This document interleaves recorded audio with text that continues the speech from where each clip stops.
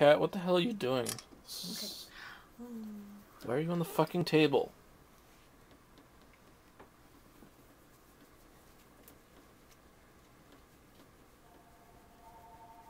You're so dumb.